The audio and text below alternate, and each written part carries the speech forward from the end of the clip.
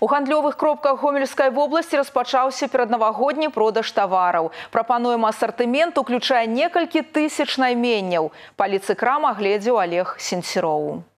Ёлачнымі ўпрыгожваннямі, як і самімі штучнымі ёлкамі, гомельскія крамы гандлююць ужо каля трох тыдняў. Часта ўсё неабходнае можна набыць у адной кропцы. Ужо зараз тут пачалося правядзенне акцыі са скидкамі, але па словах саміх работнікаў гандлю, бліжэй да новага года цэны знізіцца яшчэ больш. Значная частка прадукцыі беларускай вытворчасці у некаторых крамах можна набыць нават шары з нацыянальным орнаментом. Новогоднюю елку хочу купить высокую.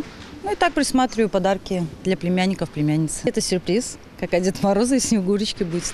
У харчовых крамах упор зарабілі на падарачныя наборы. Выбар вялікі. Беларускія кандытарскія фабрыкі вырабляюць салодкую прадукцыю на любы густы кошт. Хаця толькі адчыннымі цукеркамі крамы не абмежаваліся. Папулярнасцю у пакупнікоў сёння карыстаюцца шакаладныя наборы ад расійскіх вытворцаў.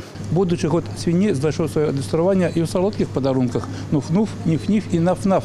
Тры парася ў шакаладным варыянце. Разам з крамамі да новага года рыхтуюцца аб'екты грамадскага харчавання. Зараз яны максімальна арыентаваныя на падрыхтоўку перадсвяточных праграм. Як сведчыць праведзены маніторынг, кошт зробленых заказаў сёлета складае ад 25 до 90 рублёў. Што тычыцца магчымасці афіцыйна набыць жывую ёлку, то ў жыхароў вобласці яна з'явіцца з адкрыццём ёлачных кірмашоў. Будут работать после 21 декабря елочные базары. Это 35 площадок, из них 14 в городе Гомеле.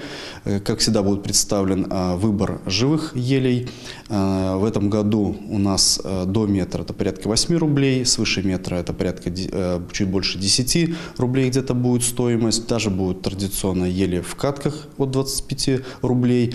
Ну и заготовлено достаточное количество. Олег Сентероў, Евген Макеенко, тэлерадыокампанія Гомель.